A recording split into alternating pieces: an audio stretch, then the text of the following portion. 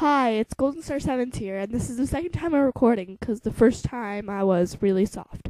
But what do you care?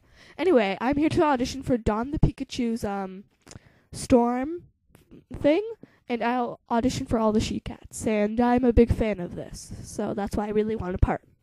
So, Rockfire? Well, at least I stay loyal to my clan. And then two, you say that to my face, you piece of fox dung.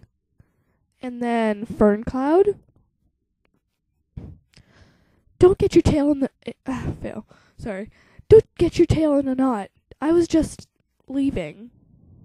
And then, come on, kids, let's play outside.